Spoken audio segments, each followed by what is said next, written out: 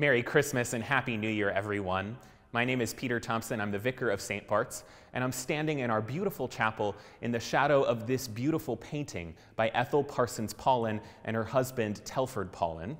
It depicts the arrival of the Magi at the manger of the baby Jesus. And it's the event we'll be commemorating this Thursday night, January 5th, at 6 p.m., right here, with a simple service complete with some of your favorite carols like the First Noel, We Three Kings, a guest sermon by Julia Macy Offinger from Grace Church Broadway. And then after the service, we'll head up to room 33 for a hearty dinner complete with king cake for dessert. It'll be a lovely festive occasion, and I hope you'll join us.